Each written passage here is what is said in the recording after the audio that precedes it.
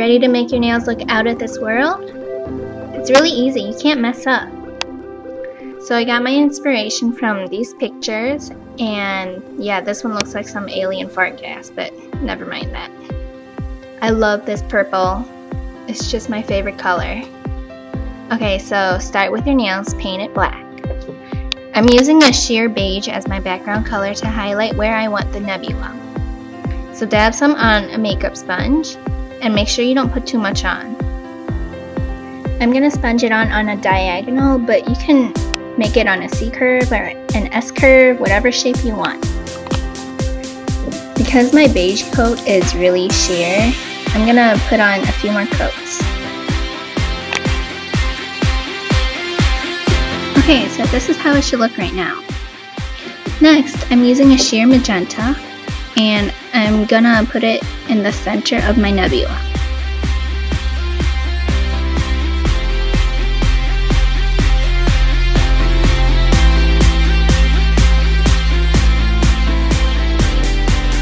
Then I'm going to sponge on a glittery red-brown color between the beige and the magenta. This will give it a more three-dimensional effect, creating a background and a foreground.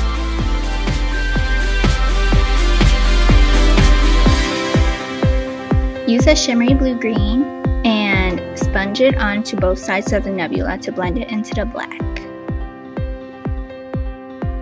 Try to make it curved and conform to your nebula to make it more circular.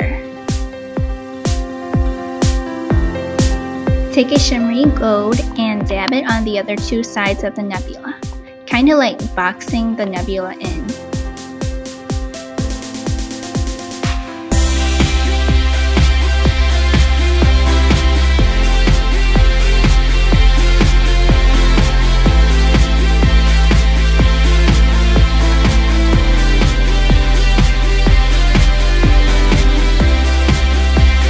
Apply a glittery nail polish.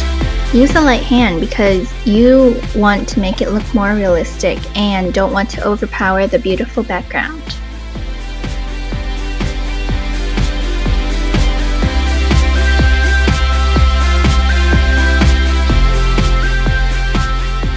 See, a little goes a long way. Finally, use a toothpick dipped in white nail polish to dot stars on your nails.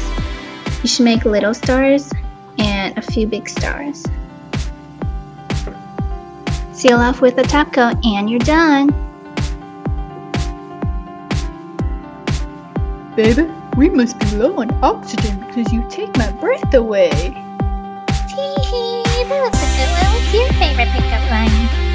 Thanks for watching.